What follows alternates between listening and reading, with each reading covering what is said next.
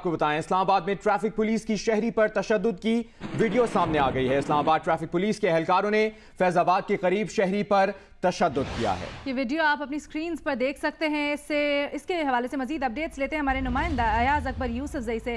Ayaz, video हम देख सकते हैं, कोई एक्शन लिया गया है इस पर? जी, बिल्कुल, ये एक्सप्रेस हाईवे फैजाबाद पुल के नीचे ये वाक्य पेश आया है। अभी हमारी कुछ देर पहले एसएसपी ट्रैफ़िक मलिक मतलूब से बात हुई उनका कहना है कि इसको हम डिटरमिन कर रहे हैं कि ये वाक्य कब का था। ये वाक्य गुजशत रोज का लगता है, लेकिन उन्होंने इस हवाले से, वो पहले बेखबर थे, उन्होंने कहा कि हमने इंक्वायरी कमेटी बना दी है डीएसपी की सरबराही में, इसको प्रोव कर रहे हैं, लेकिन इसमें आप फुटेज में देख सकते हैं कि तीन पुलिस एहलकार, एक शहरी जो काफ़ी बुरी हालत में रोड पर बैठा हुआ है, उस पर एक जो पुलिस एहलकार है, बदतरीन तशद कर रहा है, उसको लाते मार रहा है, और दूसरा पुलिस एहलकार जो है वो उसको मना कर रहे हैं कि इसको ना मारे। इससे पहले जब हमने पूछा तो बताया ये गया कि इससे पहले काफ़ी तशद जा चुका है शहरी के ऊपर और उस तशद की वजह से शहरी बेहाल होकर रोड के ऊपर बैठ गया। उसके बाद भी जब ये किसी शहरी ने वहाँ से गुजरते हुए ये वीडियो भिजवाई है, जो जियो न्यूज़ को मौसू हो चुकी है, उसमें मजीद भी उस शहरी पे तशद किया जा रहा है। वो आप इस फुटेज में देख सकते हैं।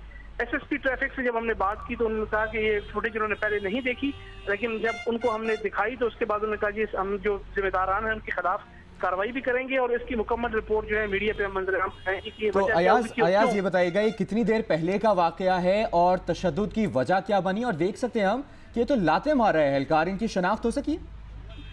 जी, बिल्कुल, ये शनाख्त भी इस पर हम भी अभी कार्रवाई कर रहे हैं। हमें किसी शहरी की जानब से ये वीडियो मौसू हुई है।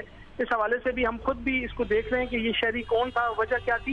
लेकिन कोई भी वजह हो ट्रैफ़िक पुलिस को ये हक नहीं पहुँचता कि वो किसी शहरी पे सरेआम तशद करें और ट्रैफ़िक पुलिस का काम सिर्फ़ चालान करना है गाड़ी बंद करना है अगर कागजात पूरे नहीं नहीं होते। किसी किस्म की आ, किसी भी पुलिस एहलकार को किसी भी शहरी पे तशद करने का कोई राइट नहीं है। इसके हवाले से जब हमने ये एस से बात की तो उन्होंने कहा कि ये वाक्य का वक्त जो है ये आज सुबह का लगता है लेकिन वो कहते हैं कि उन्होंने ये इनिशियली पता किया कि कल शाम का वाक्य लग रहा है, लेकिन अभी कुछ देर में हमें मालूम मजीद भी मिल जाएगी कि वजूहत क्या थी, शहरी को मारा क्यों गया और मारने वाले कौन से एहलकार थे। जी। अच्छा अयाज, ये बताइएगा, इसमें शहरी या जो पुलिस एहलकार है, इनके चेहरे काबिल शनाख्त हैं क्या? क्या देखा जा सकता है इनको? जी बिल्कुल इस क्योंकि इसके साथ साथ यहाँ पर सेफ़ सिटी के कैमरा भी लगे हुए हैं एसएसपी साहब ने कहा कि हम उसको आ, इसके ये क्योंकि शहरी की जानब से बनाई गई फुटेज है मोबाइल से थोड़ी दूर से बनाई गई थी और मूवमेंट में बनाई गई है ये फुटेज एक गाड़ी से बनाई गई है। इसके अलावा यहाँ पर फैजाबाद के पास सेफ़ सिटी के अपने कैमराज मौजूद हैं। इस वीडियो और उस सेफ़ सिटी कैमराज की मदद से जो है मजीद इनकी शनाख्त तो हो जाएगी। लेकिन क्योंकि ट्रैफ़िक पुलिस के पास अपना रोस्टर मौजूद होता है उनको पता होता है कि किस पॉइंट पे किसकी ड्यूटी है।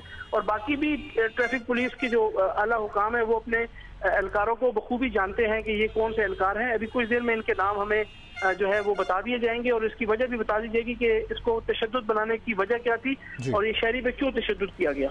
इस्लामाबाद ट्रैफ़िक पुलिस के एहलकारों ने फैजाबाद के करीब शहरी पर तशद किया है। वीडियो में देखा जा सकता है कि तीन एहलकार शहरी पर तशद करें। बहुत शुक्रिया आपका। अयाज अकबर यूसुफ सही आपने अपडेट किया।